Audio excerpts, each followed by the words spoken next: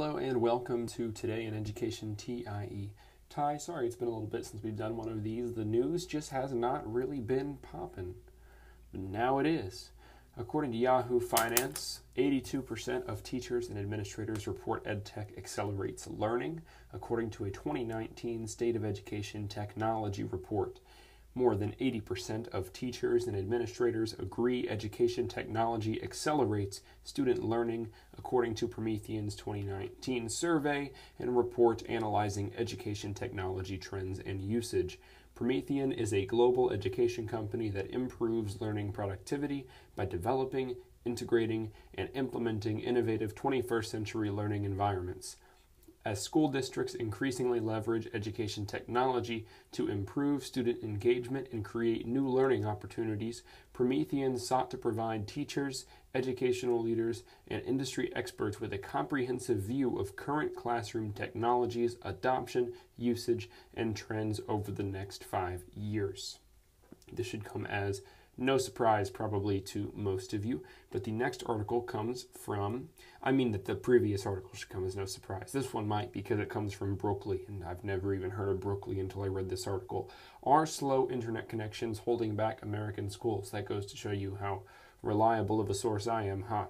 Internet speeds in the United States have for years lagged behind other developed countries. Slow internet speeds have also been an issue for schools, although progress is evident in recent years. In 2012, 70% of schools lacked internet connections fast enough to support basic administrative and instructional needs. But now, only 1.6% of school districts fail to meet that low bar.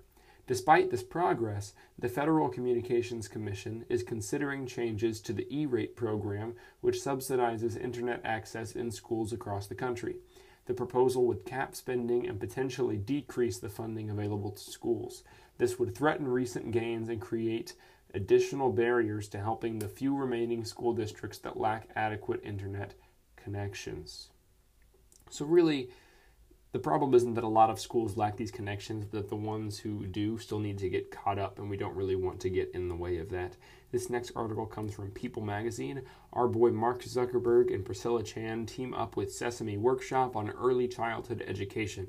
Mark Zuckerberg and Dr. Priscilla Chan are leveraging their initiative for a good and educational cause.